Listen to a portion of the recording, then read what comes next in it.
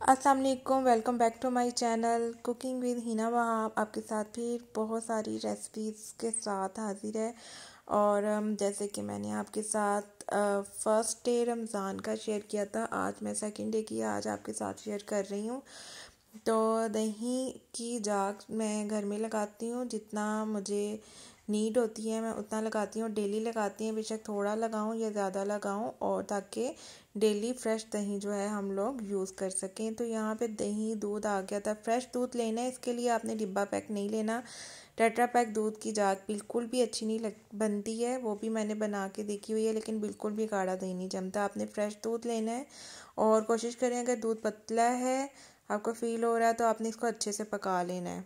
ठीक है, उसको इतना पकाना है कि उसका जो पानी है एक्स्ट्रा वो ड्राई हो जाए।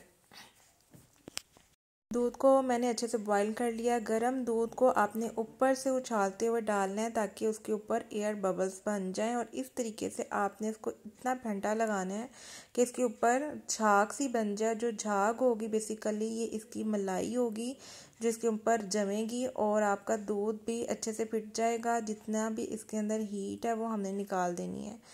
इतना गर्म होना चाहिए, नीम गर्म सा दूध चाहिए जिससे आप हाथ लगाएँ तो आपका जो स्किन है वो जलनी नहीं चाहिए। तो बस इतना मैं इसको घंटा लगाऊँगी और इसको ऊपर से आपने तकरीबन मैंने 20-30 दफ़ा इसको इस तरीके से उछाला था ताकि झाग बन जाए।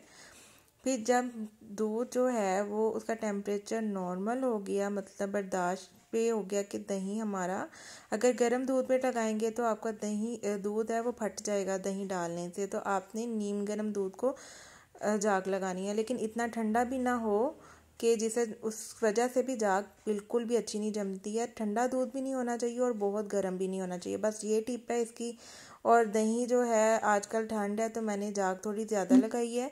एक से डेढ़ मैंने चम्मच जो है दही का लगाया है और इसको मैं किसी गर्म जगह में रख दूँगी। माइक्रोवेव में रख दें या हॉट पॉट जो होता है, जिसमें हम रोटी रखते हैं, उसमें रख दें।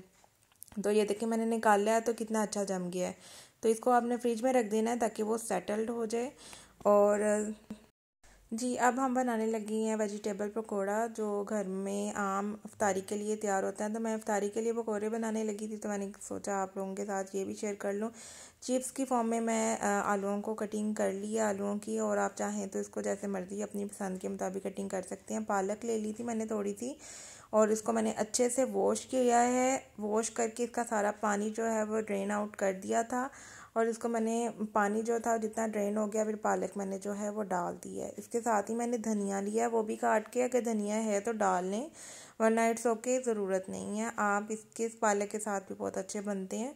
तो मेरे पास धनिया भी था, मैंने वो भी ऐड कर दिया है। इसके अंदर मैं दो मीडियम प्याज लूँगी स्लाइस कटिंग करके मैं वो भी इसके अंदर ऐड कर दूँगी। और बरीक बरीक स्लाइस करनी है ताकि अच्छा सा टेस्ट आए। साथ ही मैंने दो हरी मिर्चें ली थी, उनको भी मैंने काट के डाल दिया है।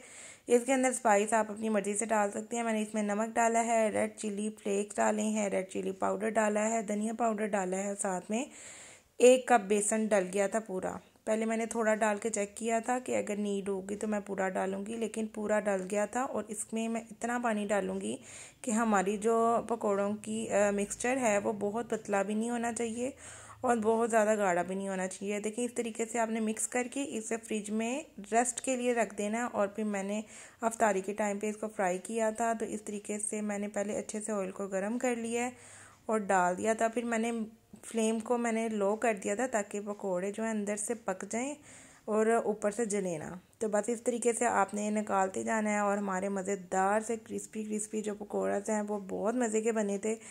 और मैंने इसको दही के रायते के साथ इमली की चटनी के साथ सर्व किया था और साथ में मैंने आपके साथ एक दिन पहले कटलेस की रेसिपी शेयर की थी तो वो भी मैं आज फ्राई करूँगी। साथ में वो भी हम लोग यूज़ करेंगे। जी ग्रीन चटनी मैंने बना के इस तरीके से फ्रीज़ कर लिया क्योंकि गर्मियों में बिल्कुल भी धनिया नहीं मिलता। तो आपने हरी मिर्चें, पुदीना और ग्रीन चिलीज़ को ऐसे ही पेस्ट बना के फ्रीज़ कर लेनी है। वो भी जब मैं कभी करूँगी आपके साथ शेयर हम्म। करूँगी यहाँ पे मैंने इमली और कुर्बानी जो भिगोई हुई थी एक दिन पहले वो मैंने उनके सीड जो हैं वो निकाल के उन्हें ग्राइंड कर लिया था और फिर जो गुड़ है वो मैंने इसके अंदर दो डलियाँ डाल दी थी। अब डिपेंड करता है कि मीठा कितना गुड़ है। तो जितना मैंने ये डाला था ये परफेक्ट था इतनी क्वांटिटी में मतलब एक कप जो था इमली और कुर्बानी की उसमें आपने दो डलियाँ डाल लेनी आप शुगर भी ऐड कर सकते हैं। इसमें नमक रेड चिली पाउडर ज़ीरा पाउडर भुना हुआ ज़ीरा डालना है, नमक अगर काला है तो वो ऐड करें, बिल्कुल थोड़ा सा जाएगा और इसको बस आपने अच्छे से मिक्स करके गाढ़ा कर लें, इतना गाढ़ा करना है कि इसका पानी सारा ड्राई हो जाए। तो ये देखें, इस टाइप का ये गाढ़ा होना चाहिए। ये अभी गर्म था तो ये थोड़ा आपको पतला लग रहा है। जब ये फ्रिज में रखेंगे तो ये और गाढ़ा हो जाएगा। तो आप इसे इंजॉय कर सकते हैं पकौड़ों के साथ, समोसों के साथ, रोल के साथ।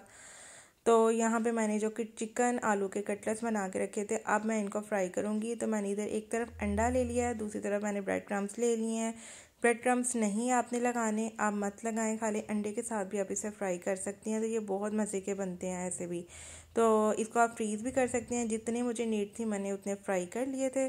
और बाकी मैंने फ्रीज़ कर दिए थे एग वगैरह लगा के आप इसको फ्राई करके भी रख दें। तो जब आपको ज़रूरत हो तो आपको अंडा लगाने की बिल्कुल ज़रूरत नहीं होती। फिर आपने डायरेक्ट निकालना है और इसे गर्म तेल में पकने के लिए छोड़ देना तो मैं शैलो फ्राई कर रही हूँ। मैंने बहुत ज़्यादा ऑयल नहीं ऐड किया क्योंकि रोज़े के और अफ्तारी के बाद आप ज़्यादा फ्राई भी खा लो तो फिर भी प्रॉब्लम होने लग जाती है स्टमक की। तो इस वजह से मैंने बहुत ज़्यादा ऑयल में से फ्राई नहीं किया था क्योंकि पकौड़े ऑलरेडी बहुत फ्राई किए थे।